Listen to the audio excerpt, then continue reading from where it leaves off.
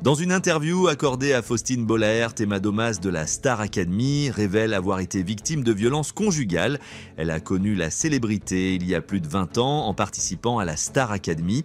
Ce 14 octobre 2024, dans l'émission Ça commence aujourd'hui sur France 2, Emma Domas a révélé à Faustine Bollaert avoir été victime de violences conjugales. La chanteuse de Tu seras a participé à un numéro spécial. Ces artistes qui ont appris à vivre avec leurs failles.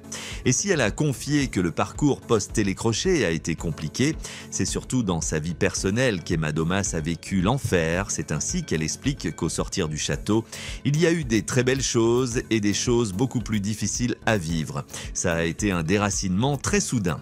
Elle remarque aussi, à l'âge de 18 ans, je suis passé du jour au lendemain d'absolu anonyme à célébrité.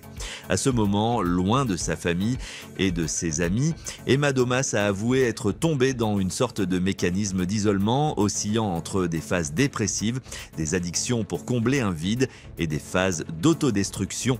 Et à propos de ce dernier malheur, Emma Domas est transparente pour la première fois. Elle assume désormais l'autodestruction, elle est allée jusqu'à une relation toxique dans des violences conjugale.